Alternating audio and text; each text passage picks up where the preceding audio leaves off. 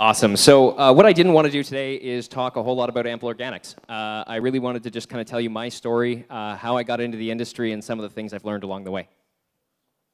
So um, yeah, this will kind of flow a little bit. I don't know if the slides will line up or not, but we'll, uh, we'll just go with it.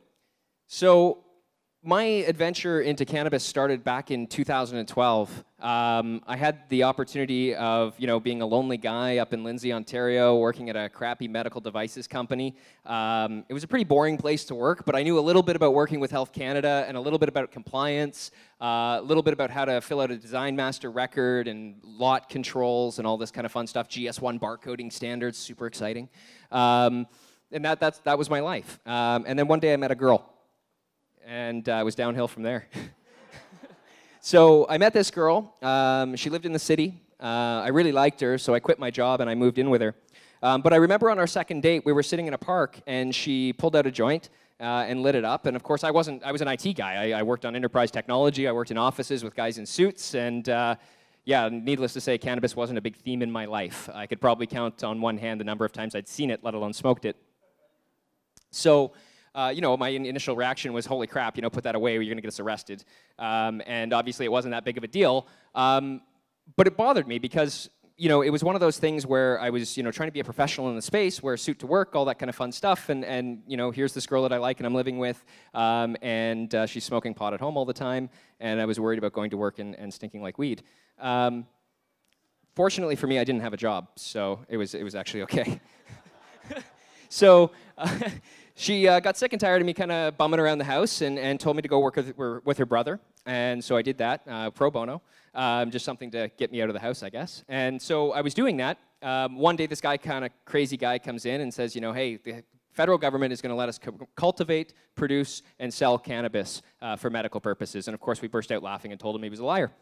Um, ultimately, that wasn't that wasn't true. So he, he produced this paperwork, um, and it was this draft legislation for the marijuana for medical purposes regulations, and this was in August of 2012. Um, so having a little bit of experience in filling out regulatory applications and things like that, I, I helped out, and I filled out their record-keeping component and, and, told them a little bit about how to keep records and, and monitor all this good stuff happening in their facility. Um, and ultimately, they won the very first license in Canada, and that was with the Peace Naturals project. So I've been around uh, practically uh, since day one, uh, which brings me to my first point. Uh, opportunity knocks. Uh, you just got to open the door and go with it. So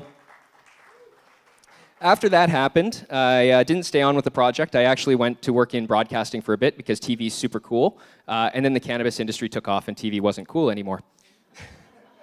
so I bailed out of there and I thought, well, hey, I'm going to get in the cannabis industry. You know, I have a little bit of experience with the Peace Naturals project, putting together this record-keeping stuff, and, and you know, I, I, know a little bit about the business. Got really passionate about it. Did a whole bunch of production models and things like that. And I'm like, okay, well, I'm going to start a licensed producer. Unfortunately for me, there were 1,600 applications uh, in the queue uh, at that time in 2014. So that taught me my second lesson, which was swim upstream and go against the flow.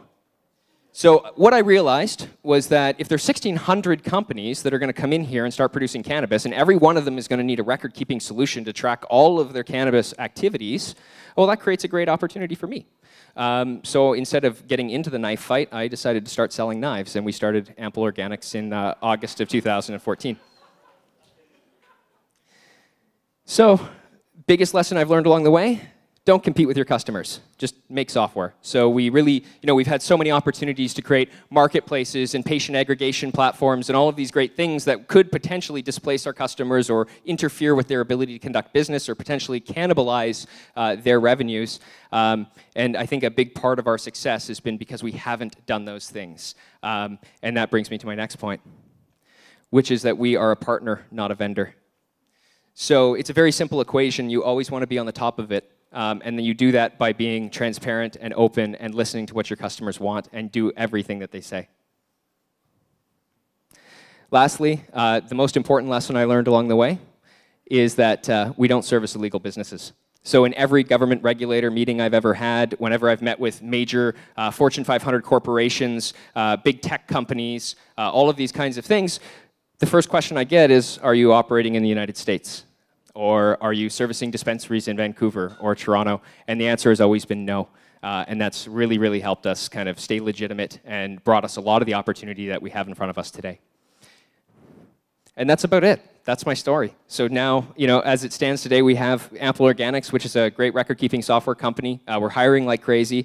Uh, check out our careers page, and uh, you know, it's it's been and, and it's sort of this this incredible journey of creating uh, something so simple by focusing on what we were really good at that uh, we're just about to surpass one million orders of medical cannabis shipped to Canadians all across the country.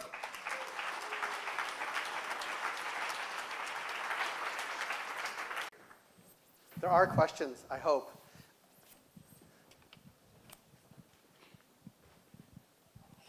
Are you servicing only Canada? And if so, do you have plans to expand out of Canada? And if you have plans to expand out of Canada, how do you fare against competitors? I assume this overlaps with what Trellis does and similar organizations.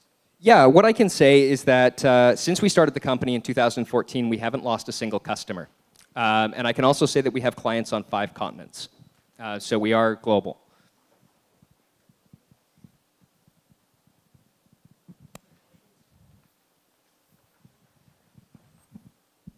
Where do you see opportunities to improve uh, quality assurance, quality control uh, versus uh, along the supply chains that uh, you have a unique opportunity to give us some insight into what is happening actually?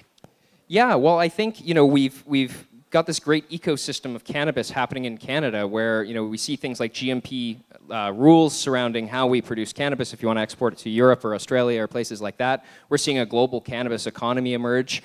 Um, so I think we're already there. In terms of the quality assurance and compliance aspects, we're good.